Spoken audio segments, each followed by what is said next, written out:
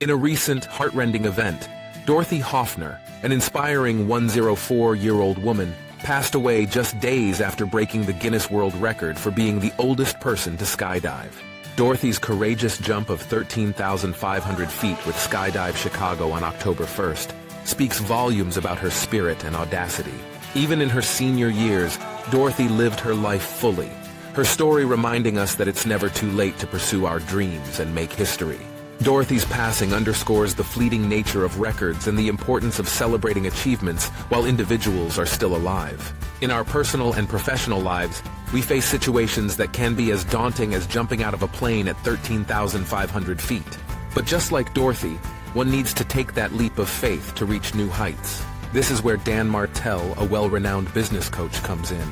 Dan knows all about challenges and how to maneuver through them to unlock next level of growth. Is your company looking to take a bold leap towards growth and success? Dan Martell can help you navigate this journey, just like he has done for countless other businesses.